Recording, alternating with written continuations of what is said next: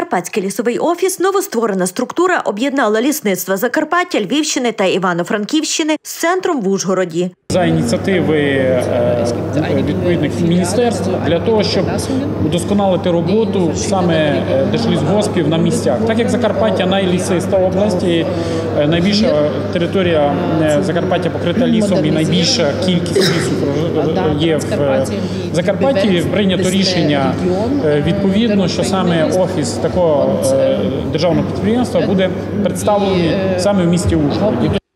Розглядалися варіанти для центру у містах Львів та Івано-Франківськ. Проте керівництво краю доклало зусиль, аби рішення було прийнято на користь Закарпаття. Ми разом боролися за те, щоб е, у нас було саме в Закарпатті, саме в Залісній області було представництво. На попередній сесії було звернення до всіх, до кого можна було звернутися з цього приводу.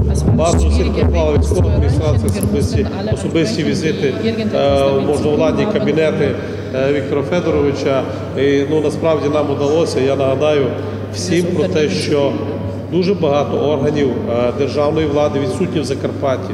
У нас нема е, департаменту юстиції, це філія Івано-Франківська. У нас нема держірпомнагляду, у нас нема е, стандартизації метрології, у нас нема фонду майна, це все філії. І насправді втратити ліс, то це визвав дуже серйозний резонанс.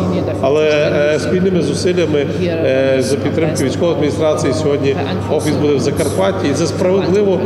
Очолив структуру Володимир Бедзян. Раніше був директором Коростенського лісгоспу, що на Житомирщині. Його призначили 6 грудня, а представили громадськості 7-го під час відзначення Дня місцевого самоврядування у сесійній залі Закарпатської ОВА. покладено згідно зі штатом, який буде працювати в місті Ужгород на вулиці Собранецькій 156. Е, Прошу